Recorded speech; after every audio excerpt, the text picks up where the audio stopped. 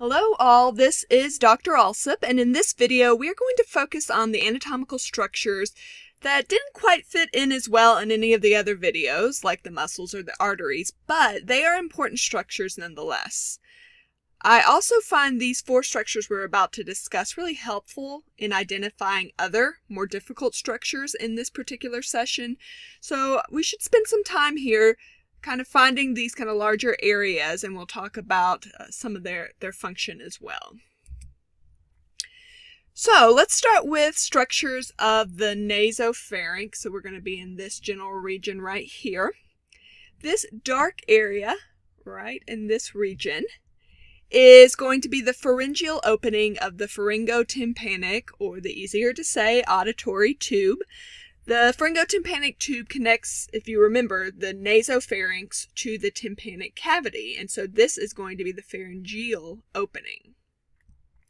If you look just superior to this opening, you'll see this fairly dominant elevation. And um, this is going to be formed by a mucus covering of the cartilaginous portion of the pharyngotympanic tube. So I always, torus tubarius for me in the nasopharynx is quite key. I can always fairly easily find that, and it helps guide me in terms of better understanding this region. Now, if you continue inferiorly into this kind of region, you're going to have the salpingo pharyngeal arch. And if you hear me using the term arch in this video, think these arches are formed by mucosa covering muscles. So in this case, the salpingopharyngeal arch is formed by mucosa covering the salpingopharyngeus muscle, which is going to extend from that pharyngotympanic tube to the pharynx and the thyroid cartilage. So it's one of those longitudinal muscles of the pharynx. Two more arches.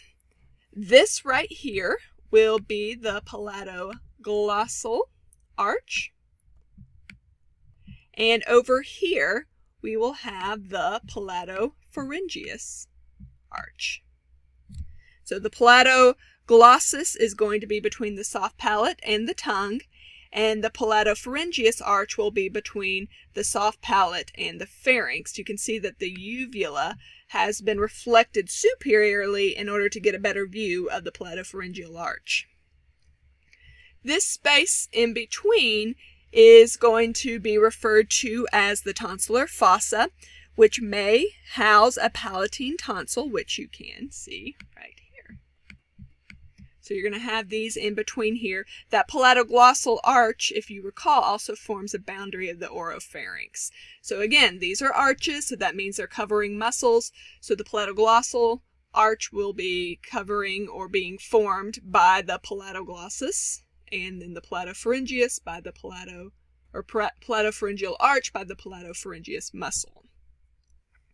All right, so these are the miscellaneous structures for this session. They may not fit comfortably into any of the other videos, but they are still super awesome, as I hope that you realized as we move through this.